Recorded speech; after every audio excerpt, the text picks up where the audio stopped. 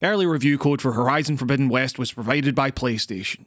You know, there was a period while playing Guerrilla's upcoming open world behemoth where this video you're watching right now was going to be titled Why It's Pointless to Review Horizon Forbidden West. After around 6 or 7 hours, it's not like I was having a bad time by any means. I was enjoying myself a fair bit, wandering around the early areas of the game, going from nondescript quest giver to objective marker, picking up the fetchable MacGuffin they so desired, experiencing the all too familiar gut punch of zooming out the map to see how minuscule a dent Made in this gargantuan world. The same things I've done, the same feelings I've felt in countless open world games prior. It also came with the same graphical chops of every one of Sony's now extensive roster of massive budget, cinematic, action focused titles. Those games people often hold up as generation defining masterworks. They arguably constitute a genre unto themselves at this stage, one that I have definitely softened to in the last couple of years, but one that still carries with it an unshakable sterility disguising mechanical rigidity and fairly basic storytelling behind a glossy Hollywood-esque sheen. It's the kind of rigidity that caused me to bounce so hard off the first game in the franchise, 2017's Zero Dawn, with someone making the baffling decision to release it alongside Breath of the Wild, a game whose complete emphasis on freedom of exploration only highlighted Horizon's comparative inflexibility. All of this to say that at around that 6 or 7 hour point, while I was finding the experience of Forbidden West pleasant enough, I was developing the core of this video in my head. It felt pointless to review this game because you already know exactly what this is. A Sony big budget cinematic action open world, and you already know if you're going to like it or not. But then something clicked for me. Thanks to embargo restrictions, I'm not sure I can talk about the specifics here, although the feature I'm talking about was shown briefly in the trailers and featured in the first game as well, which if you haven't played Zero Dawn yet and don't want it spoiled, spoiled, bear in mind that Forbidden West necessarily assumes you're up to date with all the massive revelations of that game minute one. But let's just say I found myself in a situation that was at once visually stunning, yet so unsettlingly claustrophobic that when I finally emerged, greeted with that glorious vista once more, I actually found myself breathing a sigh of relief, with a newfound appreciation for the beauty of my surroundings, while still intrigued by the chaos of what I'd just left behind. The scope of the game exploded for me and had me looking back on the busy work of the last several hours, the interpersonal squabbles at the core of it all, and rambling like a person possessed. How can you possibly focus on this trivial shit when the other stuff going on in this world is so gargantuan, so vast that it goes beyond anyone's comprehension? And from that point, I was in. I ended up putting in around 40 more hours into the game and came away thinking it might be one of the best open world games I've ever played. It's not simply a brighter coat of paint on the older game either. Several mechanical upgrades have seen Forbidden West rekindle my love of a genre in ways that I could not have expected going in, shirking the negative baggage some might associate with both open world titles and Sony cinematic games in one fell swoop, significantly raising the bar for both going forward. Because honestly, it wasn't just one moment that had this game clicking with me. Just as vital was the mere act of scanning the environment to see a vertical rock face, previously a block block to your progress in the last game, unless you could find the right handhold, and witnessing it suddenly burst in a Death Stranding-esque array of bright yellow lines and X's, indicative of the fact that you can now climb so much more than you could before. Not quite everything as was touted by the developers, but enough to make traversal feel far more organic here, like anywhere is at least possible if you work at it a bit. And when you get to the top, you can gleefully glide wherever you feel like, because this game seems to have learned the lessons of its past past, and incorporated a great deal more freedom in your exploration here. Far from the simple vertical corridor crawls of games like Ghost of Tsushima or God of War, climbing here is actually a viable, fun traversal option. It's a true game changer. Forbidden West finally is a big budget single player game that takes its cues from Breath of the Wild, only more densely packed, more detailed, and more breathtaking. Seriously, despite some technical instability that remained even after the launch day patch was applied, This might be the most beautiful game I've ever seen. Not only in the sense that they fixed it so the characters didn't have that creepy, toothy half smile thing going on all the time, although that is certainly a welcome change. I mean, just look at this thing. Once you're on your journey proper, the game hits you with so many gorgeous vistas, so many deliberately placed, tantalizing remnants of our own lost civilization so constantly that it's hard to keep up at a certain point. You're just done taking in one jaw-dropping sight, only for the game to rush you to the next unbelievable thing that you've probably never seen in this fidelity in a video game before. And the thing is, thanks to those traversal mechanics, similar to the sense of wonder I get from Breath of the Wild, I'd constantly find myself going off the beaten path and figuring out my own way up a random mountain, for example. The effort to do so making the view at the top feel like reward enough. You're in control here, you're scaling that mountain because you feel like it, approaching that gargantuan settlement or imposing mechanized fortress. You're gliding down into that cavernous valley for minutes at a time, taking in the verdant greens and murky swamps all baked in a blood-red sunset that's at once ominous and awe-inspiring before being tasked with making your own way back out of it. I would literally spend hours just wandering around because it felt like I was actually meant to, like the objective marker of either the main or side quests I was on wasn't the be-all end-all here. Nothing in this world is merely distant set dressing. Every single object has been carefully laid out, designed to be clambered upon and analysed from every possible angle at your own pace. It is truly staggering how much work went into this, and how fun it is to just exist here. Even in the game's more rigid objectives though, trying to get from one end of a ruined building to the other for example, their layouts are often labyrinthine enough in their own right that that kind of exploratory spark never goes out. None of the awkwardly technical architecture or jutting decay of these environments is off limits, presenting you with many different traversal options, what I guess you could call red herring platforms, that might lead you to some optional loot, or might lead you nowhere, requiring you to figure out how to get back, an often daunting task given how far you may have ascended and how far there now is to fall. And sure, it does lead to some navigational awkwardness at times where you realise there's nowhere else to go but back the way you came, but this awkwardness, the game's hands-off approach in letting you get lost from time to time, to make the wrong call rather than being told exactly what path you must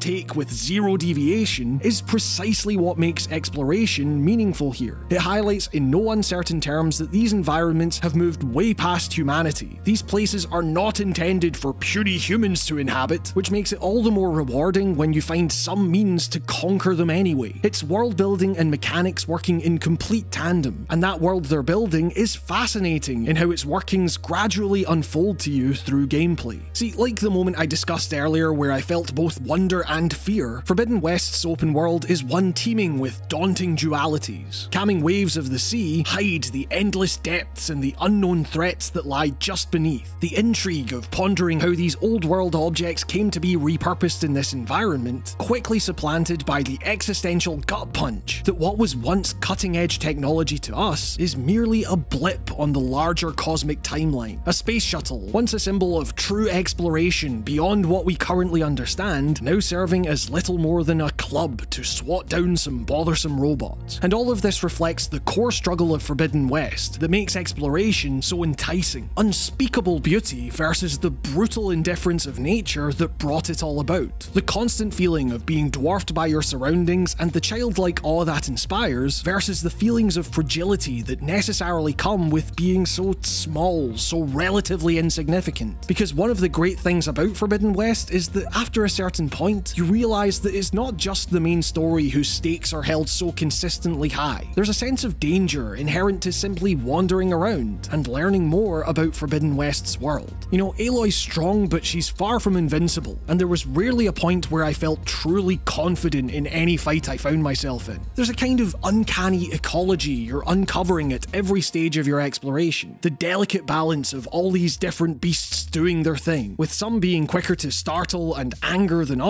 and some of the biggest threats coming from the places you'd least expect, taking you by surprise and requiring you to act quickly with your vast array of tools and traps in order to escape. And I suppose I should mention that melee combat in particular definitely has its problems, more or less suffering from the Witcher syndrome, lacking both impact and precision. But it hardly matters when the number of options at your disposal is otherwise so huge. Hell, many encounters I ended up fighting my way out of could be viewed as purely research, simply trying trying to find out how these particular machines worked, and oftentimes having to run when I realised they're too powerful for me. Not only does this mean that those few moments of true calm and tranquility feel all the more earned amongst the constant anxiety that something could go wrong at any second, these excursions that could take a significant amount of time in themselves saw my knowledge of the workings of this world developing through my own mechanical experimentation, rather than simply having to rely on audio logs and text dumps, although those are here in abundance as well. Let me put it like this, one of the oddest but potentially strongest things I can say about this game is that the beauty of the visual tableaus you experience one after the other in Forbidden West, and the effort you put in to experience them, even in your most seemingly mundane moments where you've fallen down a ledge and are trying to jimmy your way back round to more solid ground, were so consistently magnificent they actually inspired a kind of genuine wanderlust in me. The desire to get out of my own comfort zone and experience the wonders of nature abundant in the real world. The game is truly that special. But in actuality, this brings me on to one of Forbidden West's bigger weaknesses in my eyes, the way it handles its larger story. And don't worry, I'm not going to spoil any details here. What I will say is that it's clear that such an appreciation for our environment and its fragility was something that the team at Guerrilla wanted to encourage in players, and to its credit, the story manages to avoid a lot of the hokiness that can sometimes come with directly referencing such current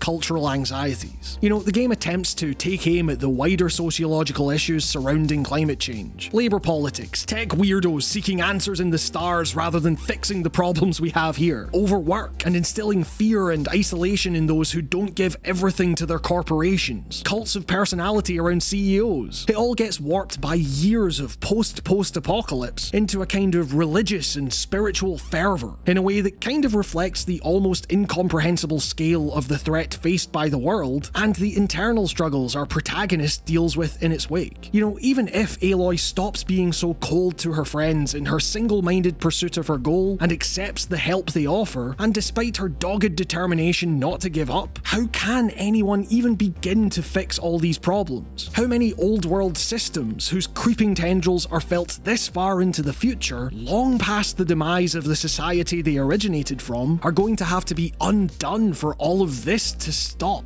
And in those questions, you get a few really interesting character moments popping up here and there. The problem is, well, the rest. Look, you know that scene in The Matrix Reloaded with the architect, where a bunch of really wild ideas are presented so inelegantly as to rob them of any potential impact? That's basically what every conversation, every massive reveal in this world boils down to. Completely monotonous, uneventful shot reverse shot exposition dumps, sometimes up to 40 minutes in length. And after a while, I found myself just skipping past any dialogue option that wouldn't simply move the plot along, so bogged down as they were in telling rather than showing. Because that's the thing, these conversations just feel so constrained, so blinkered in comparison to the world they're attempting to explain that lies just out of view, just waiting to be discovered and clambered over yourself. When you're released of those narrative shackles, as much as they occasionally illuminate the all-important stakes of everything here, it really says a lot about how amazing the world design is, the greatly increased mechanical freedom you're afforded in traversal, the exploration is where the far more compelling stories are to be found. The path ahead is always an objective marker away, sure, but with every stop off the beaten path you take, every old world artifact you stop to examine, the resulting breadcrumb trail often ends up so labyrinthine, so potentially dangerous, so mechanically varied and satisfying, so jaw-droppingly beautiful, that even its most minuscule stealth encounters end up becoming delightful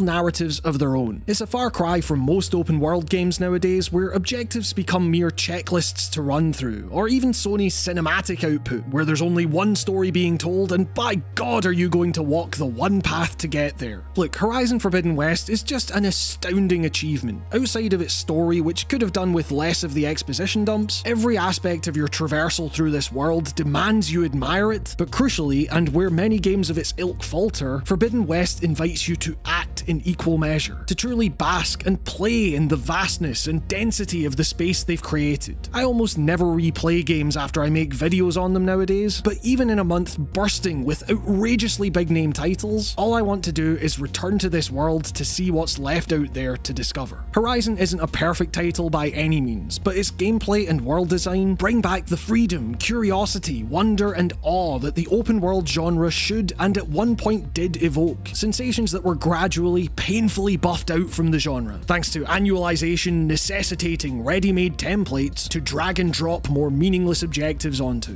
I expected nothing from Forbidden West, and in a way it still feels a little pointless to review it, but only because the one thing that really needs to be said is that I haven't been this enthralled by an open world game since Breath of the Wild. In a sea of absolute bland mush, Horizon Forbidden West rises above as something truly rejuvenating and vital. If you have a Sony console and like me, you want something, anything to shake up the current state of open world gaming, you owe it to yourself to play this.